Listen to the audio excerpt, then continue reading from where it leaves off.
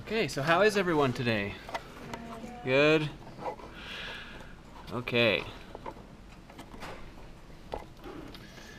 So, any questions before we continue going over new things? Any questions? So next week is when the when the semester's finally uh, fully in swing, right? Because next week is when the first quiz begins. So next week you'll be learning material for week three. You'll be homeworking over material of week two, and you'll be quizzing over material from week one. Exciting times. Okay, so today's the 30th. And uh, what we what we did last time, the last thing that we did last time was we did these two formulas that a plus b all squared is equal to what? Very good. a squared plus 2ab plus b squared. And we also did another formula. We did a plus b multiplied by a minus b. And what is that one? a squared minus b squared. Okay, there's one more uh, of these formulas uh, that are all kind of related to each other. So here, here it is. So a minus b all squared. So it kind of kind of looks like both of them a little bit. It kind of looks like that one in the sense that we're squaring something. Kind of looks like that one in the sense that they both have an a minus b at any rate. So we want to get this formula figured out. So remember that squaring means repetition. So a minus b squared means a minus b times a minus b. That's what it means. And then this is a uh, binomial, and that's a binomial, which just means uh, you've got two terms there. Uh, what's, what's the name for the formula to compute the product of binomials? FOIL, right? This one, this one's called the difference of squares. So for FOIL, what's the F term for this one? a squared. What's the O term? Negative AB. What's the I term? Negative BA, which I'll write as AB. And then what is the L term? Plus B squared. Right, why plus though? Because the negatives will cancel. So then plus b squared. And then can this be simplified at all? Yeah. Yeah. So then simplifying it, it looks like a squared minus twice ab and then plus b squared. So here's yet another formula now that you're expected to memorize. Notice it's quite similar to this one. What's the only difference? between the one we just did and the one I'm pointing to?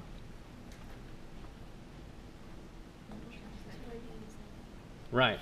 They both have plus a squared plus b squared. They both have plus a squared plus b squared.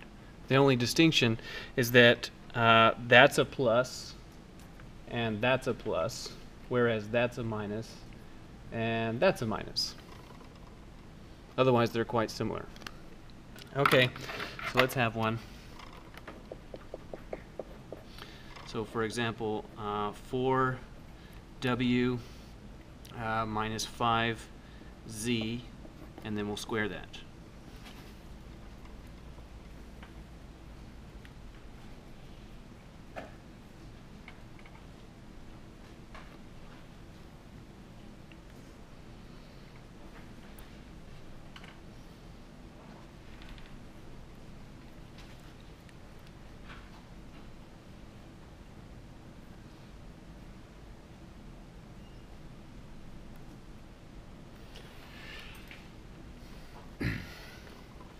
Okay, so what's playing the role of uh, A in this exercise? 4W. And what's playing the role of B?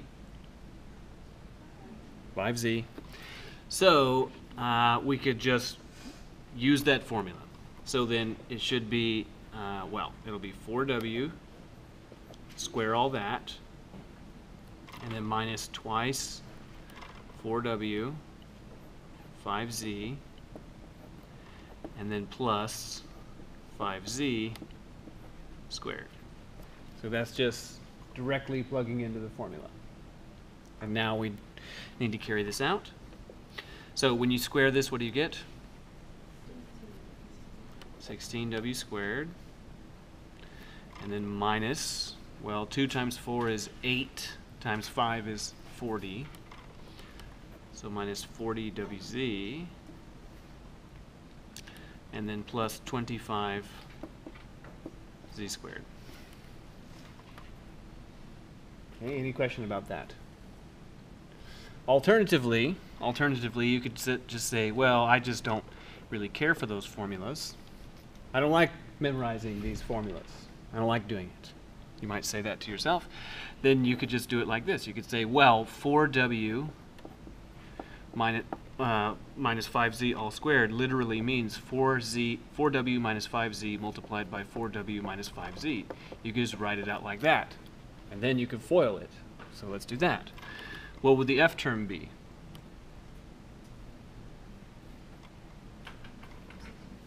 Sixteen W squared. The O term? Minus 20WZ. The I term?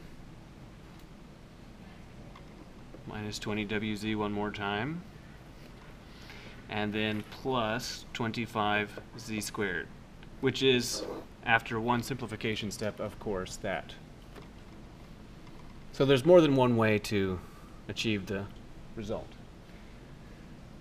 Any question about this formula? so now, all of these, uh, all of these three formulas here, this is, it's either a binomial squared, the product of two different binomials, that happen to be conjugates, or another binomial squared. Okay. Well, what if what if we don't have was that the mic? Where is the mic? Oh, it's right here. Okay. Uh,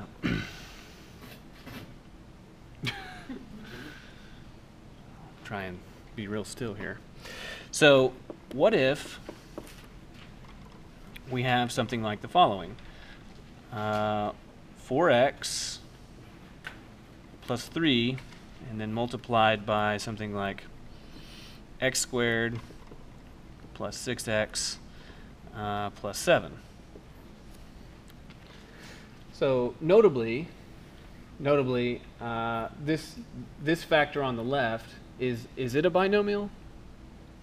Yeah, because remember that uh, a binomial means that there's two terms, and terms are the things that are separated by pluses and minuses. So there's a term, there's a term, 4x and 3. Is that one a binomial? No. No, right, because there's three terms. It's a, so it's a trinomial, right? Uh, well, that means that in particular we can't use FOIL. So FOIL's just right out. Because FOIL only works for the product of binomials. So what are we going to do? We Can't use the FOIL thing. Yeah? So we can't use it because I was always you can use them.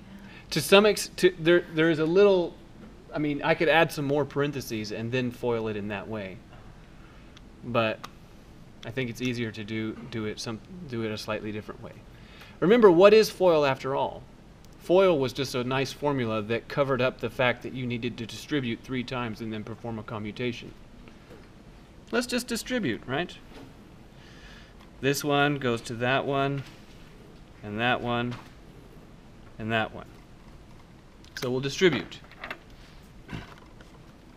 to get 4x plus 3 multiplied by x squared, and then plus 4x plus 3 multiplied by 6x, and then plus 4x plus 3 multiplied by 7.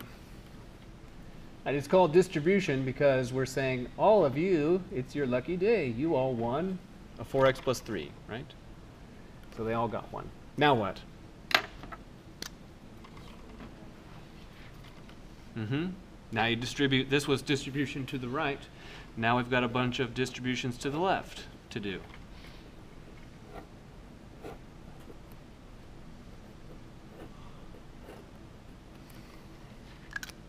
Okay.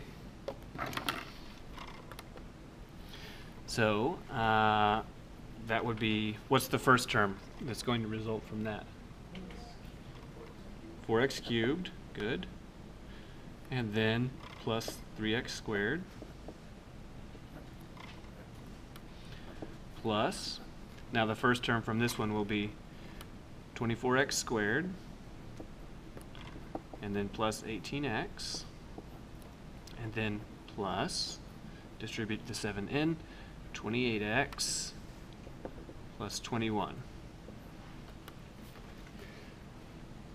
Now, the, these are all pluses, uh, which means that I can drop all those extra parentheses and, and the, the, the result is unchanged. But if it, if it had so happened that, say, that one was a minus instead of a plus, then I'd need to, when I drop the parentheses, I'd need to distribute the subtraction, right? Okay. But they're all pluses. So now we need to collect like terms. So of all the terms, which one has the highest power of x? That one does, right? So are there any other cubes besides this one? Okay, so that's how much cubes we have. 4x cubed. Okay, the next highest power is squares, and I see squares right there. Are there any other squares? Sure, right there. So then all, and there's, besides those two, there are no others. So then that'd be plus 27x squared. And then now add the x's together. Uh, 18 and 28 is 46. And then add the units together, 21. Any question about this? so, as a matter of terminology, to help us uh, be able to, to talk, speak fluently about uh, polynomials, uh, so when you have a term, say something like this, 5x to exponent 8, say, then this number right here is called the coefficient.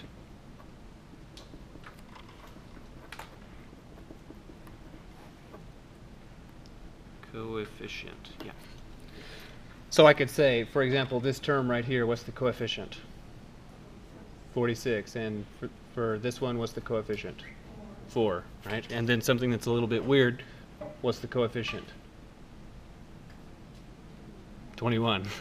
it's 21. Okay, good. So this number right here, this is called the degree. That one's called the degree of the term. So I could I could say, well, what's the degree of uh, that term? It's degree two, right? So, because that's a two. What's the what's the degree of this one? Three. The degree of this one? One, because there's an implied one. And then what's the degree of that one? Zero, right? Because how many x's are there? There's zero of them, right?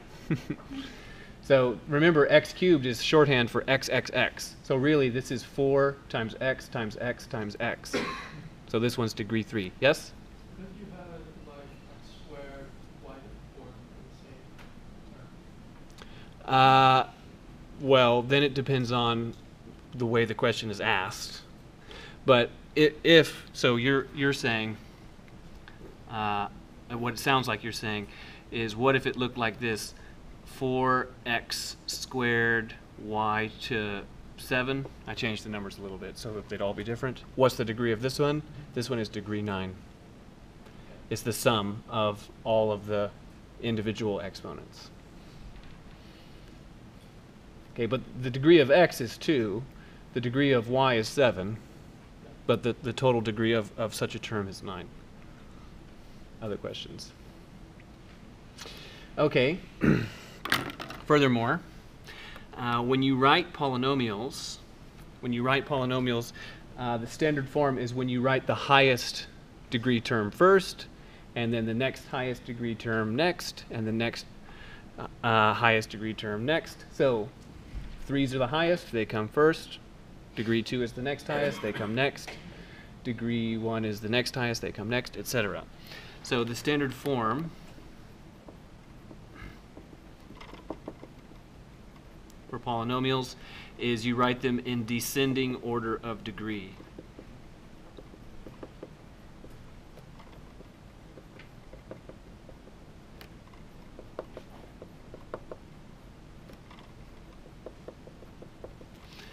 And then three, the highest degree term is called the leading term.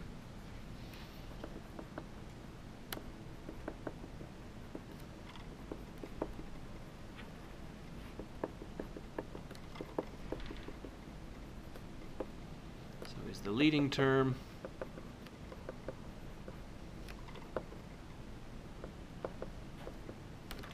And the coefficient of the leading term is called the leading coefficient.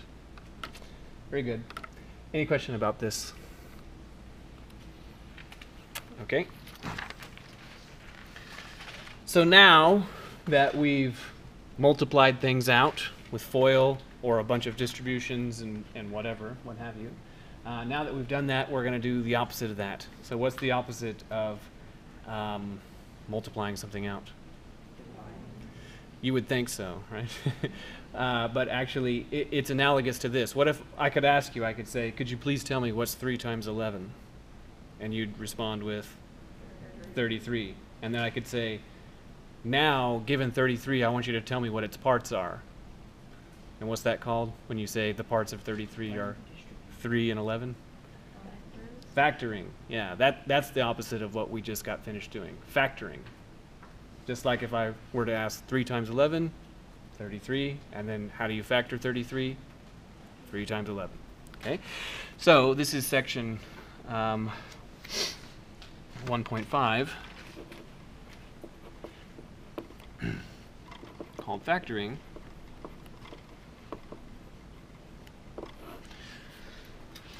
Best to start with an example, probably. So, please factor the following. Uh, so, specifically, I'd like for you to watch this process. 6x cubed y cubed plus 45 x squared y cubed uh, plus 21 xy squared. Okay.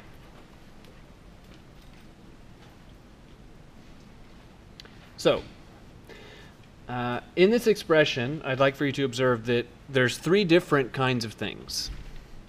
Uh, and I'll break down the groups in this way. There's, there's these coefficients, right, 6, 45, and 21. There's x's, and all of the terms have some x's in them. And there's also y's. All the terms have y's in them. So for, for, for a brief moment, I want to ignore all of the x's and the y's for a moment, and I want to ask, is there some integer that divides all of the coefficients? 3 divides all of them, right? 3 divides all of them. Now, if, you, if, if we were to just take these two, uh, wait, is it? No. What is 9 times 5 is 45? Oh, okay, never mind. So it doesn't work. Well, 3 divides all of them. Can we agree on that? Okay. So now I have a question. If we were to factor out a 3 like that and then write the rest in there, my question to you is, is what needs to go into the parentheses so that so that it's a legitimate that we've done something legitimate? So what do we need to put in those parentheses? 2 x cubed y cubed and then plus how much? 15 x squared y cubed, and then plus 7 xy squared. Okay, now a couple of observations. You might not be completely confident about why this is the correct thing. Well, the way to confirm or deny that this is the correct thing is to now take this 3 and distribute it in. If you distributed the 3 to the first term, what would you have? Yeah, you'd have that one, right? And if you were to distribute the 3 to the second term, that term right there, what would you have? You'd have that one, right? And similarly, if you distribute the 3 to the third term, you'd have that one. That's how you can confirm or deny that you did this properly. Okay, fine. Notice furthermore that among the coefficients that remain, 2, 15, and 7, is there an integer that we can factor out? Nope. Can't can't get anything else to come out besides like a 1, right? But we don't do that because because that'd be boring, I suppose. Okay? So we can't get anything more more integers to come out. Now, all of the terms also have x's. So how many x's does this one have? 3. Because remember that this means just to remind you that that means x x x. And then I'll just do that for the x's. And then plus 15 x x y cubed. And that one means just x right? Y squared. So this term has x's that term has x's that term has x's. This one has three x's to give this one two and this one one. Okay? We want to take out the mac the the maximum possible x's but everybody has to give the same amount right? This one can give three. This one can give three uh, this one can give two and this one can give one. So how much can we take out? Just one because we have to hold ourselves to the rule that everybody has to give the same amount everybody has to give the same amount so if we do that if we were to factor out an x now my question to you is, is what needs to be written in the parentheses so that what we've done is legitimate? Very good. So the first term would be uh, 2x squared y cubed. What would the second term be? 15x y cubed. And then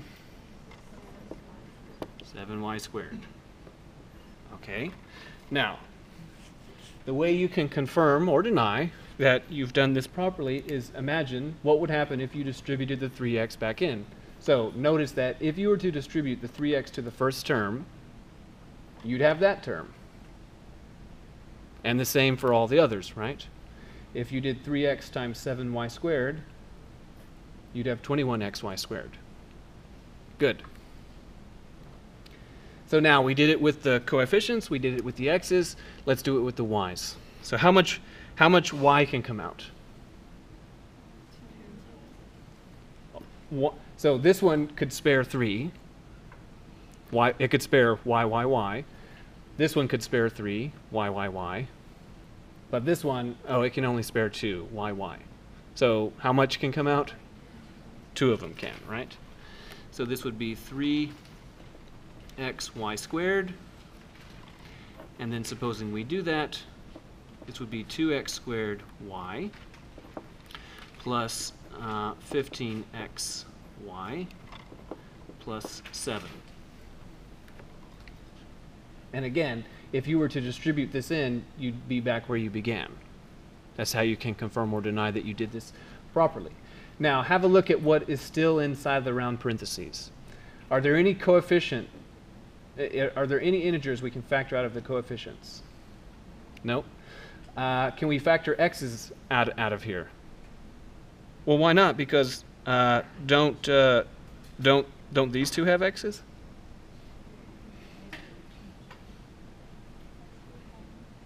Ah, right. But we said the rule is that all of everybody has to give the same amount, right? So this one has two x's to give.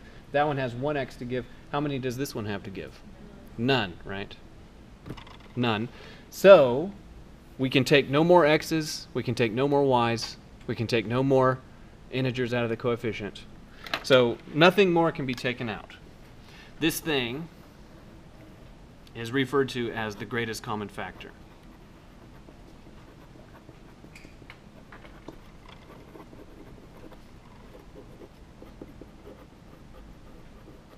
So all of these intermediate things, that is to say, like for example, 3, 3 up here is a common factor. It's a common factor. And when we took just the x out, that was also a common factor. So those are called common factors. But this one is singled out as the greatest because nothing more than this one can be taken out. Okay, so when I ask you, there's, there's an exercise like this, factor out the greatest common factor, this is what I want from you. Now, when you've, when you've gotten accustomed to this, uh, you could probably do the x's and the y's at the same time. That's fine. Okay, when, you, when you're comfortable with that. But if, if you're not comfortable with it, then you can do it one category of thing at a time. Yes? Are you referring to the written one where when we're comfortable with it, we can do the X and Y? Right, yeah. yeah. Okay, good.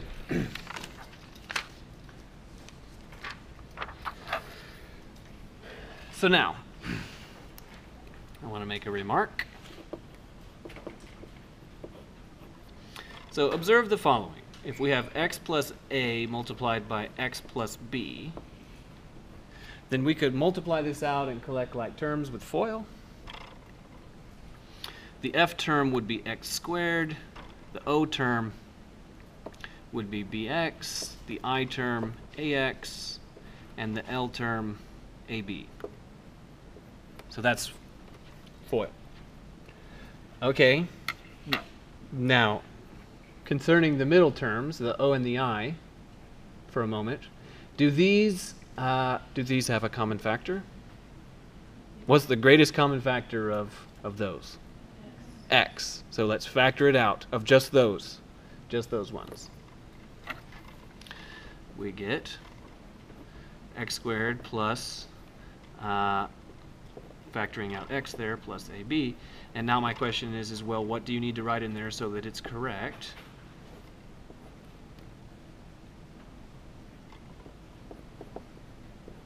What goes in there? A plus B. Okay. So now, what we want to do is we want, so in time, just now, just now, we were going this direction. We went this way and that way. Just now. What we want to do is we want to go in reverse. Is that I'm going to start you here. I'm going to start you with one of these, and I want you to go this way and produce one of those. Okay, just like if, just like 3 times 11 is 33. Now I'm going to give you 33, and I want you to say uh, 3 times 11. Okay, but with but with polynomials. And to make this work, what I want you to observe is that really this is like a hide and seek game where you're looking for two numbers that are being added together, so these will be a sum, and you're and it has to be the same two numbers, and there's a product involved. A sum and a product. Okay, and there's one more uh, significant uh, matter, and that is what is the leading coefficient of of this polynomial? One, right? Because that's the leading term. That's the leading term, and the coefficient of this term is one, because there's an implied one there. So notice that the leading coefficient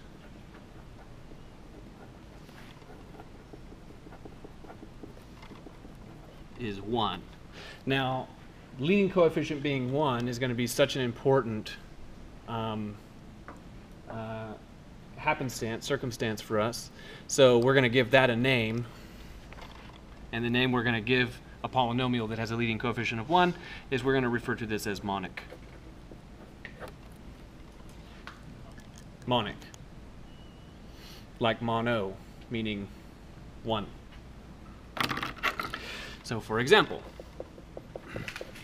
suppose I give you uh, x squared plus 10x uh, plus 16. And my request of you is I want you to factor this. So, I'm aware that many of you are already more or less familiar with this technique, but bear with me for a moment. What we're trying to do, what we're trying to do is we're trying to find two numbers whose sum is what? We want their sum to be 10. And what do we want their product to be? 16. Okay, the fact the reason why we want the sum to be 10 is because of this number. And the reason why we want their product to be 16 is because of that number. Okay. Well, let's let's try it as blindly as possible. Okay, two numbers whose product is 16. How about 1 and 16? What's the sum of 1 and 16? 17.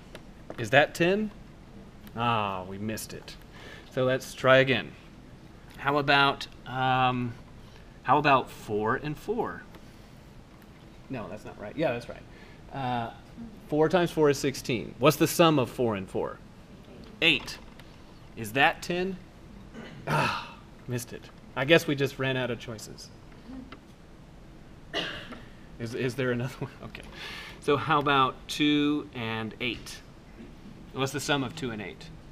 Oh, incredible, right?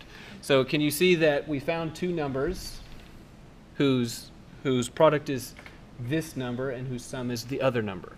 As a result, as a result, uh, what is the factorization here? What will it be? x plus 2 multiplied by x plus 8. So that is to say that this was the winner, right? Got a winner there. These numbers, this 2 went here, and this 8 there. Okay. Now, if this seems a little bit mysterious to you, I invite you to look at this. How could you confirm that this is right? You could FOIL it back out, right?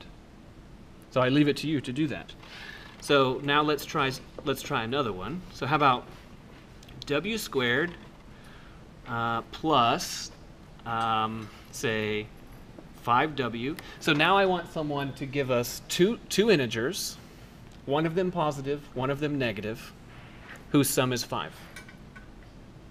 So can I have a volunteer? Two integers, one positive, one negative, sum is 5. Okay, so negative 14. So did, I just ignore the, the volunteer who, who kindly volunteered what I requested and then I said, forget your 7 and negative 2. negative 14. Did I just... No, right? What, what did I do with those numbers? I multiplied them, right? So now does everyone see? Okay, we want two numbers that satisfy what two things? Whose product is negative 14 and whose sum is 5. Okay, can anyone think of two numbers that do that? okay, so that's a little bit forced. Uh, w plus 7, right, and then w minus 2. Good. Any question about this? Okay. What if I change the change it just slightly and I say, how about w squared uh, plus 5w minus 13?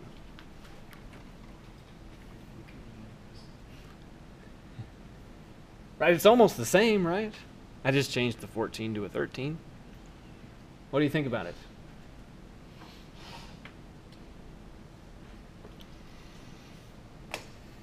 We don't, we don't like it.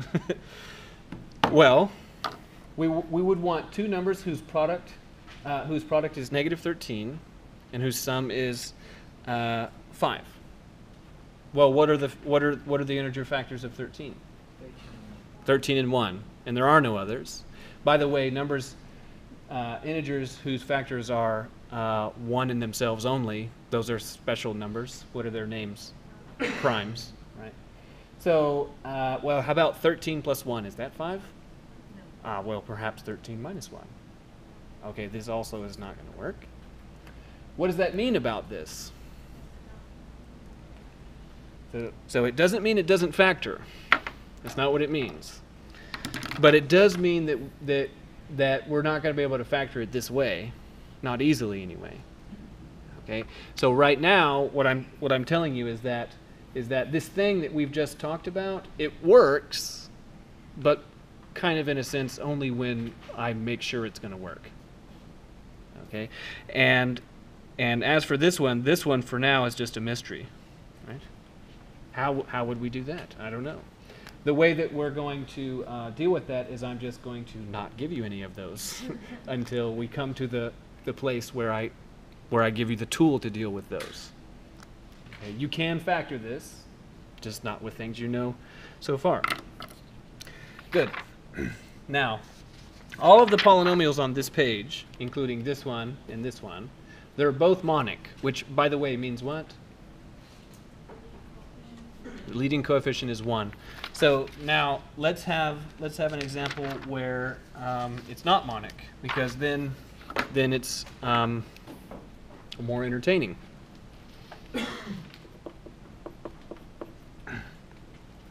So I'd like for you to factor 5x squared uh, plus 7x minus 6. And the first, the first thing I want you to observe is that it is not monic.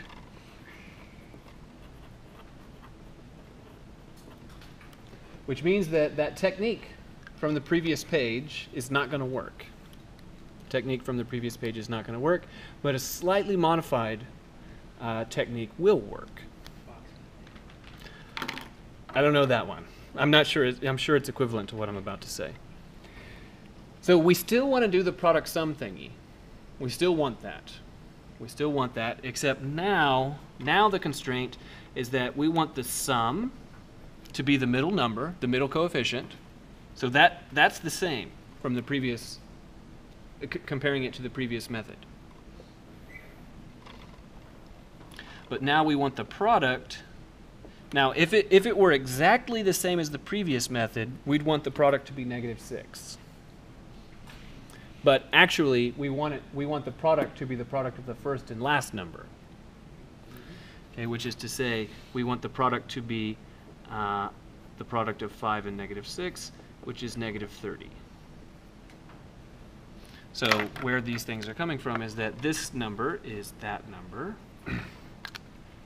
and then we take both of these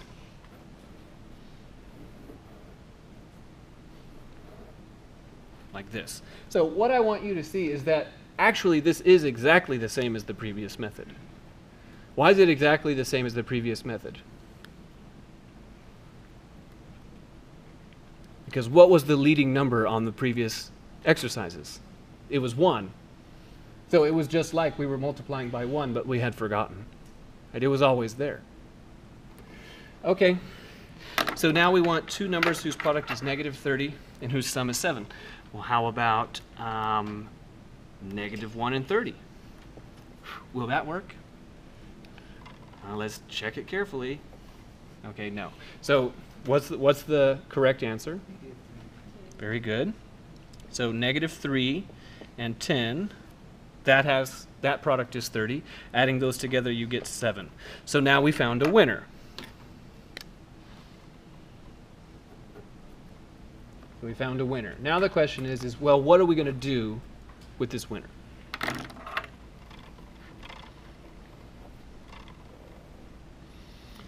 So this is what we're going to do. We're going to say, okay, this is 5x squared.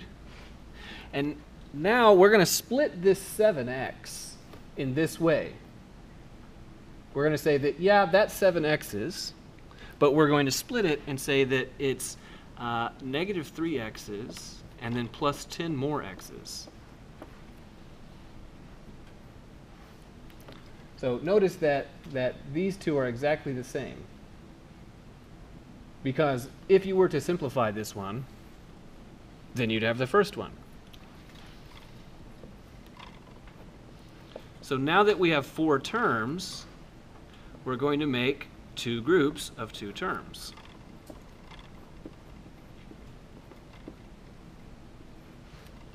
We're going to operate on them independently.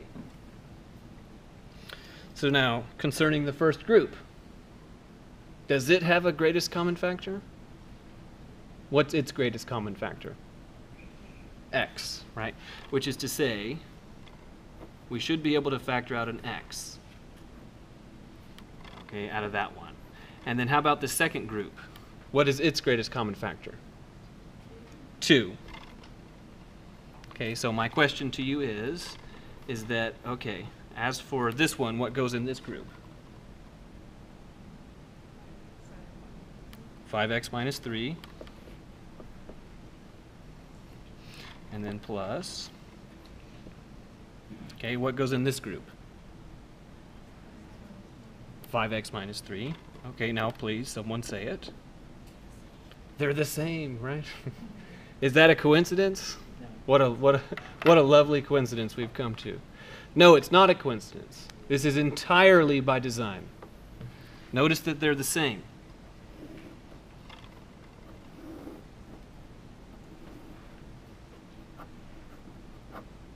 If you had gotten here, if you had gotten to this position in this exercise and they weren't the same, that would mean that you've made an error.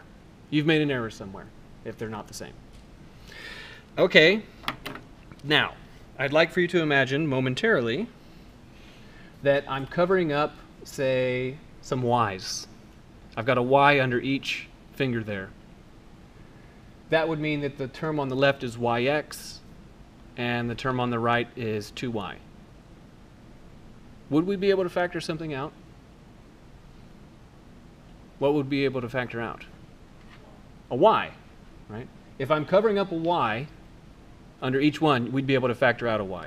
If I was covering up a W squared, well, we'd be, we'd be able to factor out W squared. If I was covering up a 30, we'd be able to factor out a 30. If I was covering up a banana, we'd be able to factor out a banana, right?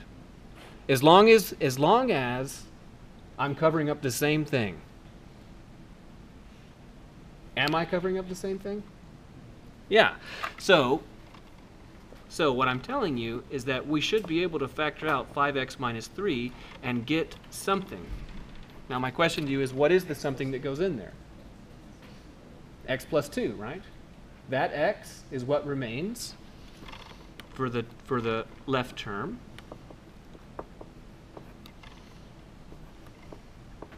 And then when you factor out 5x minus 3 from that term, what remains is this 2.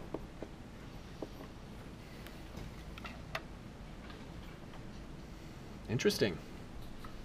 Any question about this one? Yes? On our written homework, do we have to sh- write out all of that? No, right? So like, so for example, here's me. Th- I, I leave these in here so that you can remember I was asking a question. What gets filled in the blank? There's no need to write this line. Uh, you need not write yay. Okay. Uh, you, you, you could you could make this much more compact. Okay. So any questions about this? Yeah, I got it. Okay, where? Here? That's not where it belongs. Here to here? Yeah. Okay.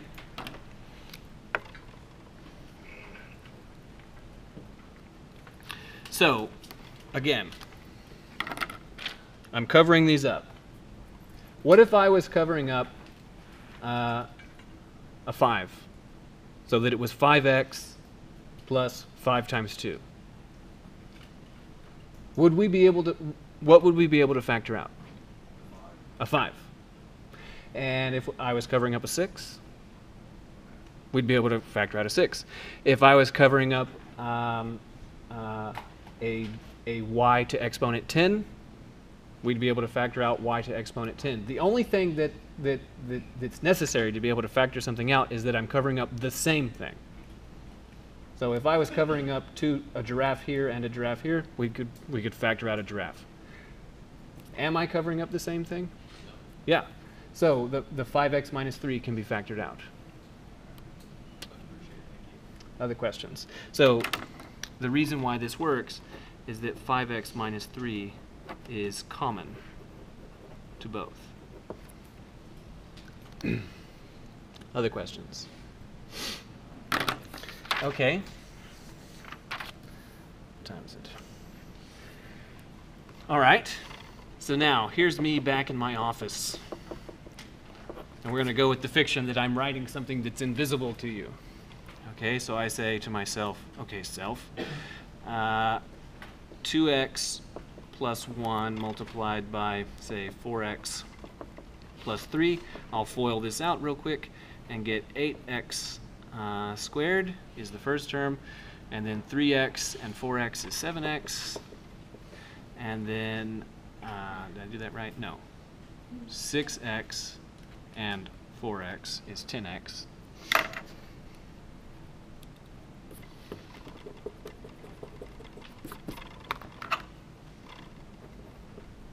And then plus 3. So now here's my question for you. I want you to factor 8x squared plus 10x plus 3.